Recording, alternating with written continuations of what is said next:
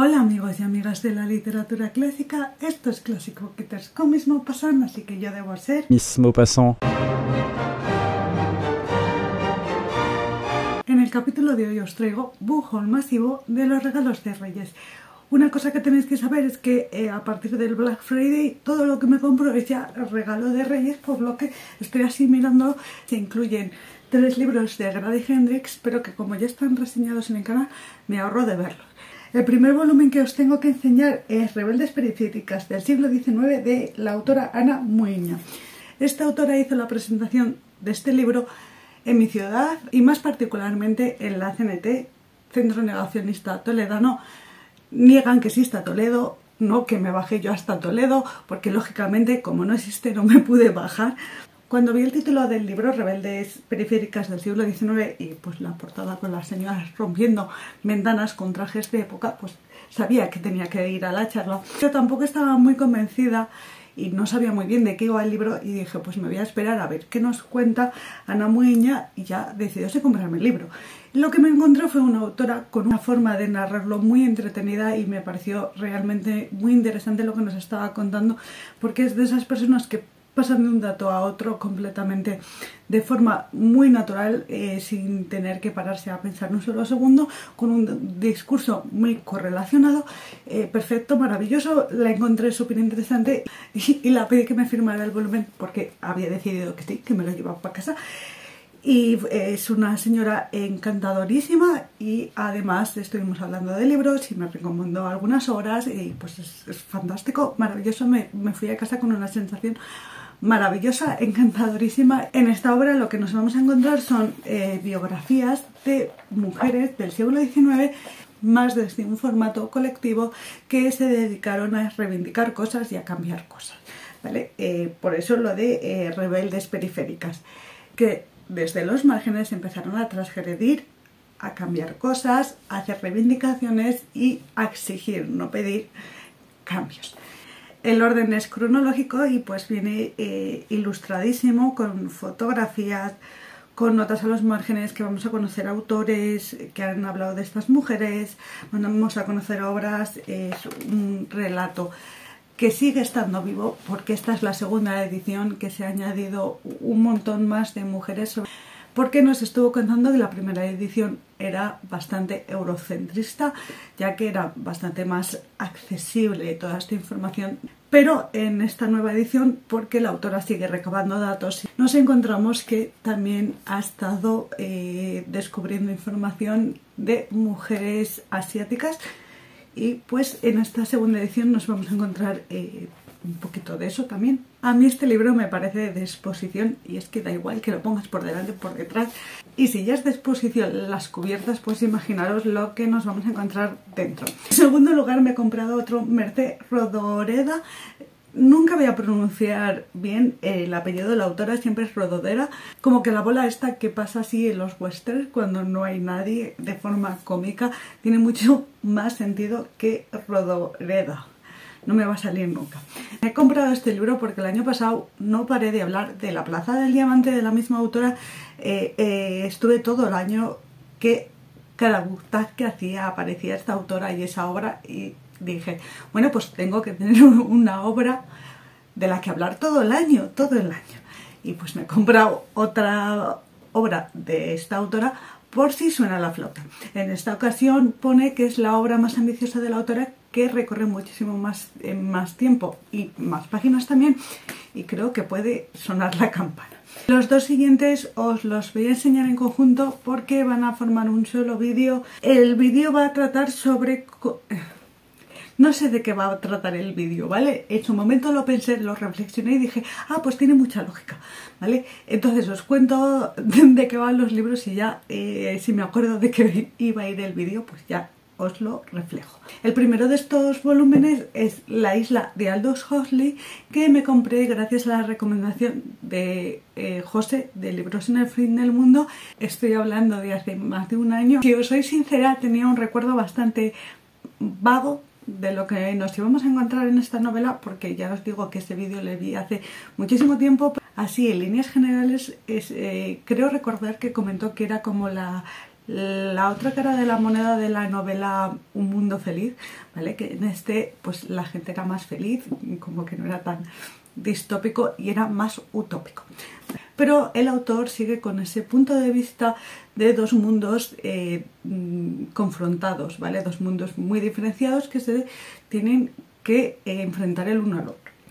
Y pues va bastante en consonancia con la premisa que nos trae esta novela de Chesterton, no me salía el apellido, La taberna errante. Quise comprarme algo de este autor porque es uno de los autores favoritos del youtuber eh, Jorge Carrión, que me gusta mucho, pues os lo recomiendo que lo sigáis. Eh, pero es que además hace bastante tiempo uno de mis suscriptores, Eduardo Piero, me, me comentó que estaba leyendo este autor que le estaba gustando mucho y pues eh, no os acordáis, pero ya me acuerdo yo, Eduardo Piero fue el que me descubrió um, Oblomov de Goncharov. Lo leí gracias a ese suscriptor y voy a estar eternamente agradecida. Entonces me fío muchísimo de su criterio, muchísimo. Y cuando ya le haces el doble check, básicamente terminas con un Chesterton en tu casa en esta novela lo que vamos a ver es que, em, me imagino que sería Inglaterra, pero pone que en una isla. Hay una ley seca, entonces dos protagonistas se van a encontrar con un barril lleno de whisky, ron, el tipo de bebida alcohólica que sea, y empiezan a rodar con él por toda la isla y ahí es donde se para ese barril que parece, aparece como un ecosistema en confrontación a esa ley seca, a ese mundo abstemio. Voy a hacer un vídeo de mundos confrontados que me parece bastante interesante. Los siguientes dos libros también van en bloque con una idea muy particular de haceros un vídeo sobre dobles en la literatura, que les aparece un doble y completamente igual que ellos, como si les hubiesen clonado. La primera novela que tenemos datos es eh, lo voy a comprobar porque sé de otro autor que escribió una temática similar y no sé exactamente por qué las fechas pueden que sean bastante similares y no estoy demasiado segura, pero estaba hablando del doble de Dostoyevsky y considerando que ya he leído esa obra, os traigo otras dos que tratan el mismo tema de diferentes formas. Lógicamente estoy hablando de El hombre duplicado de José Saramago y Desesperación de Vladimir Nabokov. La concepción de este vídeo es por culpa de esta novela. Las cosas que se conjugan con que me gustan el humor negro es que me gustan las pelis raras eh, de fuera de Estados Unidos. Estamos todos un poquito cansados ya de las películas de Estados Unidos, vamos a reconocerlos así en petit communité y estaba buscando pelis eh, de humor negro, así bastante estrafalarias, y me encontré con una de la Alemania dividida, no sé si de un lado o del otro, da un poquito igual, y pues tenía un argumento de lo bizarro. No me vi la peli porque decidí esperarme a un tiempo después de haberme leído el libro cuando empecé el canal sí que me veía todas las adaptaciones de las obras que había y va en detrimento de mi propio gusto cinéfilo y de que esto sea todavía más una tarea porque era cansadísimo ponerse a ver adaptaciones de una obra que te acabas de terminar muchas veces, había tres o cuatro y era agotador. Entonces la primera de estas novelas va a ser eh, Desesperación de Vladimir Nabokov. Y la segunda de, obras duplicadas es El hombre duplicado de José Saramago. Os tengo que decir en el caso del hombre duplicado que me pasó exactamente igual que con el doble, que había visto antes la adaptación que haberme leído la novela. Sí, eh, me gustan mucho las adaptaciones literarias de obras que no me voy a leer y por eso dije, bueno, pues me veo en En el caso de El doble, se llama The Double, el doble, exactamente igual. He estado reflexionando sobre los dos libros siguientes, de dónde salieron, de dónde eh, conocí yo a estos autores. Y creo que estaba buscando eh, una obra en todos estos libros y hay una opción en la que si buscas libro X te salen las listas de personas que tengan el libro que tú has buscado en, pendientes para comprárselo. Y estuve viendo, es que eh, si, si no los dos, por lo menos el siguiente. Estuve viendo la lista de una señora que de verdad eh, me, me, encantaría ser amiga suya porque tenía una colección de clásicos interesantísimos eh, pendientes para comprarse porque pues las listas de todos estos libros es como una wishlist de Amazon, más o menos para que os hagáis una idea. Uno de ellos fue Un guiso de lentejas de Marie Cholmondeley. Es una obra social a caballo entre el siglo XIX y el siglo XX. Marie fue discípula de Henry James al igual que eh, Edith Wharton. En próximos vídeos con misma Pausan, la semana que viene más concretamente, vamos a tener un vídeo de el maestro y sus discípulas con Mary Cholmondeley, Edith Wharton y Henry James. No me acuerdo mucho más de lo que iba este libro, entonces os voy a leer un poquito la sinopsis. Dice, el hombre ha pronunciado muchas palabras sarcásticas sobre la amistad de las mujeres y no a causa de los celos. La opinión consolidada de la mayoría de los hombres sobre este tipo de devoción podría resumirse en las palabras mantente ocupada hasta que yo llegue. Así arranca uno de los capítulos de esta novela cuya publicación en la Inglaterra postvictoriana causó un escándalo por plantear cuestiones como la emancipación de la mujer a la manera de una Jane Austen al alba del siglo XX, esta discípula de Henry James narra un episodio de la vida de dos amigas desde la infancia cuyos diferentes rumbos, la una es escritora y la otra joven heredera, se enfrentarán al provincianismo del entorno rural, así como al esnovismo de la sociedad londinense a través del amor a la escritura por un lado y la búsqueda del amor verdadero por otro. Estaba yo segura de que la lista de esa señora había sacado también este libro. No, efectivamente no. Esto fue eh, leyendo El Nido del Nobles. Sabéis que en las ediciones de Alba aquí te aparecen otras obras. Y dije, voy a buscar algo de justamente de las pocas obras que ni siquiera me sonaban, que es Mujeres Singulares de George Jason y pues me puse a buscar información y dije, tú también te vienes a casa. Este es un autor de mediados del siglo XIX, inglés. Sabéis que no soy demasiado fan de los autores británicos, pero en algún momento tendré que encontrar alguno que diga, sí, tú me convences, te voy a comprar todos. Para no gustarme los autores británicos, eh, son cuatro libros de diez que os traigo en este haul de autores british, eh, pues es mayoría absoluta. No me acuerdo muy bien qué ponía la sinopsis de Mujeres Singulares, que sinceramente a mí con este título ya me tienes comprada. En este feliz país nuestro hay medio millón más de mujeres que de hombres, tantas mujeres solteras para las que no existe posibilidad de una pareja. Los pesimistas las llaman vidas inútiles, perdidas y vanas. Ni que decir tiene que yo, como parte integrante de ese grupo, no pienso así.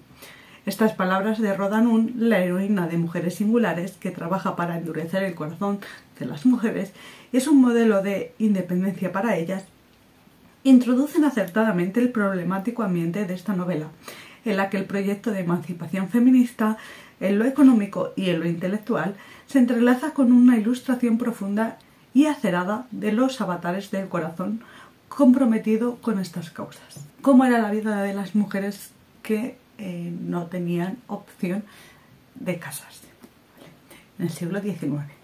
Y de los dos siguientes libros también se puede hablar en conjunto, porque si uno ha vuelto a la literatura clásica, pues vuelve por todo lo alto.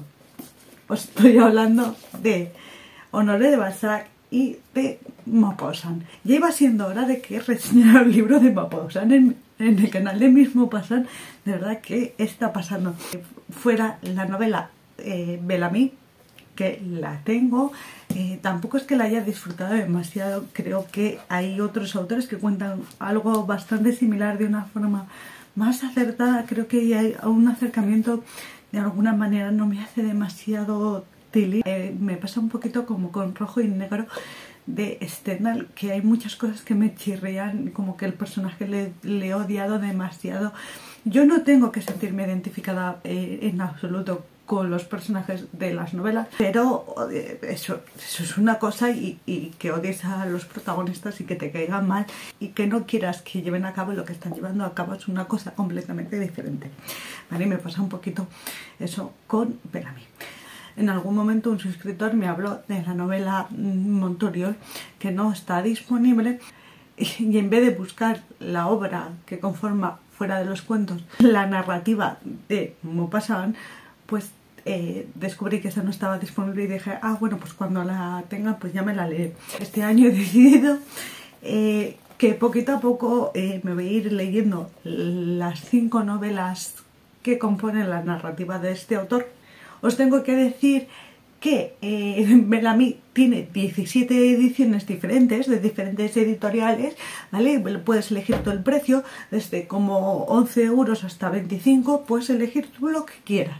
Pero el resto de novelas sí que es un poquito más difícil hacerse con ellas, encontrarlas. De esas cinco novelas hay una, ya se lo dije a Mónica, eh, de mis libros y una vida, que solo está disponible en, en Tenerife, y si no te la tienes que comprar en catalán y Montoriol pues es que no está eh, por ningún lado.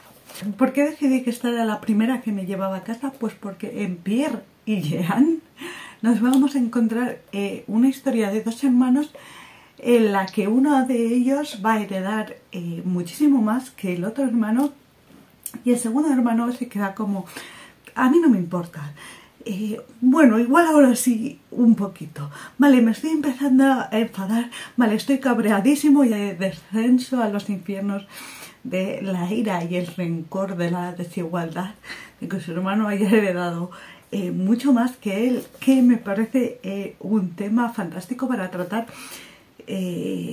creo que además es que son poquitísimas páginas, es bastante difícil que con esta premisa salga una novela floja conociendo al autor, porque me ha pasado con autores que no había leído. Y pues en esta ocasión el último de los volúmenes que os voy a enseñar es La búsqueda del absoluto de Honoré de Balzac en esta edición de Nórdica Libros. ¿Por qué este título de Honoré de Balzac? Os podéis preguntar. Elegí esta en particular porque tiene una característica que cuando la usa Balzac se vuelve sus libros mucho más interesantes y es la crítica social. No hace una crítica social así en general como otros autores, que por ejemplo estoy pensando en Germinal de, de veo una nota en el periódico sobre una huelga minera y se va a hablar con los mineros y hace una novela sobre huelgas mineras. Bueno, pues aquí Balzac suele hacer siempre la misma crítica social porque es una crítica a lo que él estaba viviendo, a él que sus padres que sí no le habían favorecido económicamente, que no le habían eh, ayudado económicamente, que no habían sido un soporte que sus empresas siempre funcionaban mal, que siempre estaba con eh, deudas de dinero, que siempre venían los acreedores a seguirle, pues siempre hace críticas en contra de los bienes materiales, ¿no? de, ser, de esa eh, ambición, de esa avaricia. Es lo que vimos en la novela de la piel de Zapa y es un poquito lo que nos viene a reflexionar otra vez en esta novela. No, pero es que me da igual que hable siempre de la misma crítica social porque es tan maravilloso. Esta novela, el protagonista eh, es un intento de alquimista, ¿no? Está buscando la piedra filosofal es esa forma de convertir todos los objetos en oro. Sé que la piedra filosofal depende de qué autores eh, busques y qué autores eh, leas. Eh, hace unas cosas o hace otras, ¿vale? Pero en este caso creo que tira más por esto de un poquito ser en midas. Y pues esta búsqueda de convertirlo todo en oro va a hacer que este señor pierda su familia, eh, sus amistades y lo pierda todo por esa eh, ambición desmedida y que pues Balzac y crítica social siempre es de 10, de 10 absoluto. Quizá me pase como en la piel de zapa que no le puse muy buena nota y según iba reflexionando y iba pasando el tiempo le fui subiendo la nota porque la reflexión es, es buena, es muy buena. ¿vale? Os voy a decir que el más importante de todos porque los más importantes son estos dos y pues con ellos os dejo por hoy. Espero que os haya gustado el vídeo, que os abriguéis si hace frío, que bebáis agüita, haga frío o calor, que leáis un poquito más de lo que podáis, que seáis malos y que nos vemos en la próxima. Saludos.